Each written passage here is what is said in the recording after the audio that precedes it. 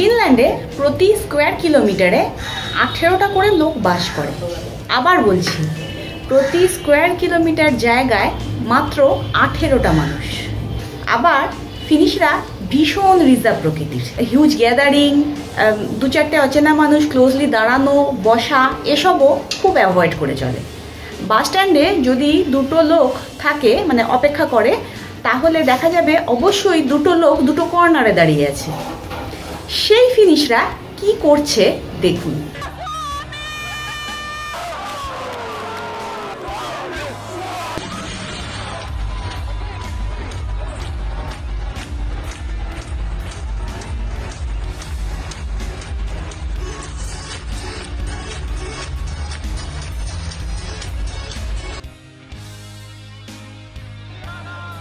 প্রচণ্ড অকল্পনীয় হলেও এটা সত্যি যে এই ভিডিও ক্লিপগুলো ফিনল্যান্ডেই শ্যুট করা। আর যাদের দেখা যাচ্ছে, তারা বেশিরভাগই ফিনিশ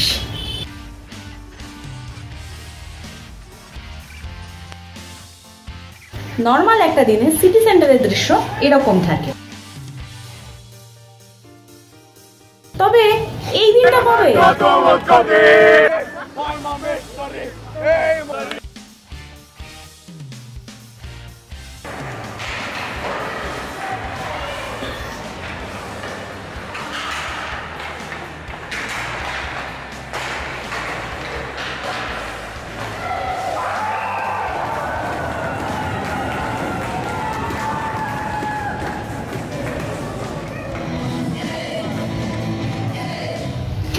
অনেকগুলো বছর বাদে দু হাজার একুশ সালে টোকিও অলিম্পিকে মানে যেটা দু কুড়ি অলিম্পিক, সেই অলিম্পিকে ভারতের হকি হকি দল অলিম্পিকে মেডেল পেয়েছিল। ব্রোঞ্জ, বাট মেডেল পেয়েছে। বহু যুগ বাদে। একটা সময় ছিল যখন ভারতীয় হকি দল ছেলেদের হকি দল প্রতি বছর বছর অলিম্পিকে সোনা জিততো। সোনা না হোক রূপো ব্রোঞ্জ মানে পদক যেটা লেগেই থাকতো। তবে হ্যাঁ আস্তে আস্তে সময় পাল্টেছে, অন্যরাও বেশি জিততে শুরু করেছে অন্যান্য দেশ। তো সেই কারণে আমাদের দেশের হকির সেই ফেমটা কমে গিয়েছে, এটা ঠিকই। কিন্তু তবু আমাদের দেশে যে কোনো মানুষকে যদি আমি জিজ্ঞেস করি, হকি বলতে কি বোঝে বা হকি জানে কি না আমার ধারণা ম্যাক্সিমাম লোক জানে এবং হকি বলতে ঘাসের উপর বড় বড় ডান্ডি নিয়ে, বা যেগুলোকে হকি স্টিক বলে থাকি আমরা, সেই হকি স্টিকগুলো নিয়ে, বল নিয়ে, অনেকটা ফুটবলের মতন একটা খেলা বলতেই সবাই বুঝবে। কিন্তু এখন আমি যেটা বলতে চাইছি, সেটাও হকি। এবং এদেশে মানে ফিনল্যান্ডে যদি কাউকে জিজ্ঞেস করা হয়, হকি কি? তারা কিন্তু যে জিনিসটা বলবে, যে ভার্সনটা, হকির যে ভার্সনটা বলবে, সেই ভার্সনটাই আমি আজকে দেখতে এসেছি। দিস ইজ আইস হকি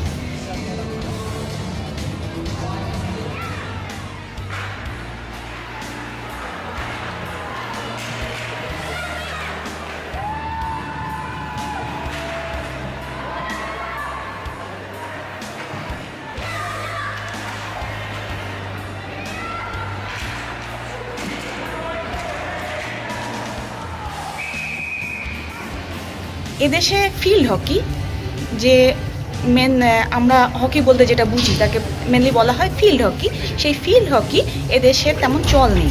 কিন্তু এদেশে প্রচণ্ড পপুলার হচ্ছে ice hockey ice hockey match আজকে আমি একটা দেখতে এসেছি। এটা একটা লোকাল ম্যাচ ডোমেস্টিক লিগ এদের চলে এবং এটা মেয়েদের আইস হকি খেলা। ডোমেস্টিক লিগ একটা চলে, সেই লিগের কোনো ম্যাচ একটা হোম টিম একটা অ্যাওয়ে টিম আছে। তো হোম টিম ইলভেস বনাম অন্য অন্য একটা গেস্ট টিম খেলছে। আইস হকি খেলাটা অনেকটাই ফিল্ড হকির মতন কিছু ডিফারেন্স আছে। অবশ্যই ফার্স্ট মেন ডিফারেন্স যেটা, সেটা হচ্ছে কোনো মাঠের উপর খেলা নয়, কোনো ঘাস বা অ্যাস্ট্রোটার্ফ তার উপর খেলা নয় কমপ্লিটলি আইসের উপর খেলা। আইস মানে কিন্তু স্নো নয় আইস হার্ড আইস তার উপরে স্কেটিং আইস স্কেটিংয়ের যে শু সেই স্কেটিংয়ের শু করে খেলাটা খেলতে হয়। তো এটা হার্ড আইসের উপর স্কেটিং শু দিয়ে মানে স্কেট করতে করতে মুভ করা এবং সেই স্কেট করতে করতে মুভ করার সাথে সাথে হকি খেলার, এখানে বল ইউজ করা হয় না, যেটা হচ্ছে পাঙ্ক তো সেইটাকে স্টিক দিয়ে এগিয়ে নিয়ে যাওয়া। এটাই হচ্ছে বেসিক আইস হকি আর আরেকটা যেটা, সেটা ছজন ছজন করে প্লেয়ার থাকে একটা টিমে তো এখানেও তাই, ছজন করে প্লেয়ার রয়েছে একটা টিমে আরও অনেক ডিটেল বলা যেতে পারে হকি আইস হকি রুল সম্পর্কে, যা আমিও অত টোটাল জানি না। তবে আইস হকি খেলা ফিনল্যান্ডে এক্সট্রিমলি পপুলার আমাদের ক্রিকেট নিয়ে উচ্ছ্বাস দিন দিন এত বেড়েছে হকির উচ্ছ্বাস অনেক কমে গেছে সেই তুলনায়। তো হকির উচ্ছ্বাস এককালে ভীষণ ছিল ঠিকই, কিন্তু এখন ক্রিকেট নিয়ে যে লেভেলের উচ্ছ্বাস ফিনল্যান্ডে তার ইকুইভ্যালেন্ট কোনো উৎসাহ যদি দেখতে হয় সেটা দেখতে হবে আইস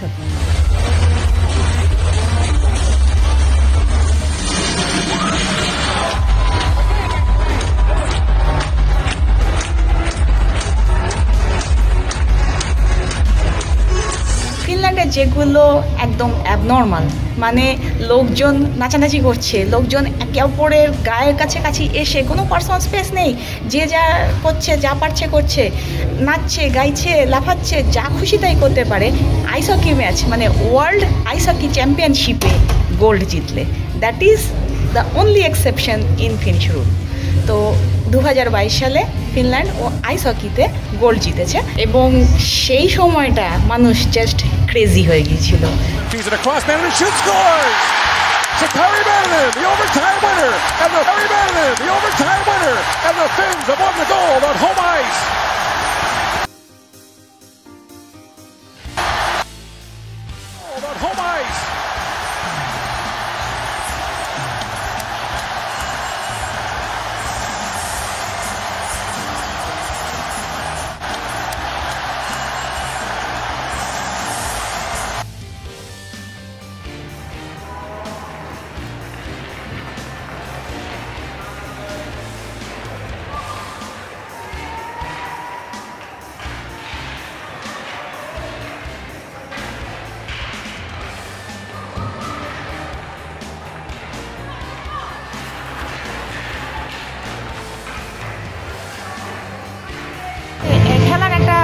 Interval চলছে। খেলার মধ্যে বারবার ঘষা খেয়ে আইস ড্যামেজ হয়ে যায়। মানে স্লিপারি ভাবটা ক্রমশ কমে যেতে থাকে। তাই প্রত্যেকবার ইন্টারভালের সময় এভাবে মেশিন দিয়ে আইস পলিশ করে দেওয়া হয়।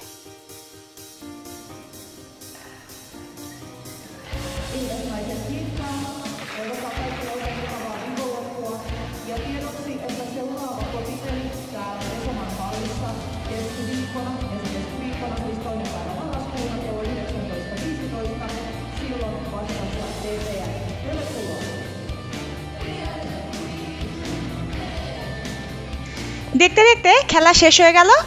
হোম টিম ইলভেস অনায়াসে জিতে গেল।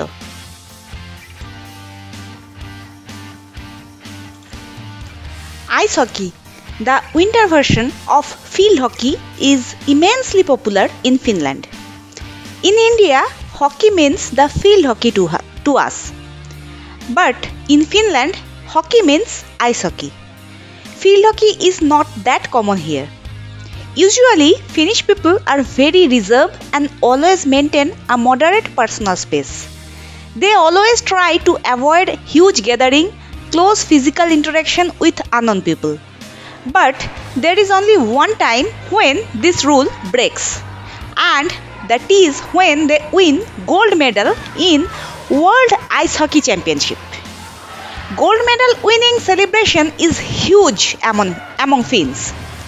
They do whatever they can enjoy. They shout, they dance, they laugh, they cry, they sing. Every kind of emotional outburst is possible this time in public by them. Last year means in 2022, Finland defeated Canada and won the gold medal again in the World Championship. And as usual, the celebration was crazy. Today, I have come to a women's ice hockey match of a domestic tournament. The game is between the home team Ilves and the away team Lukko.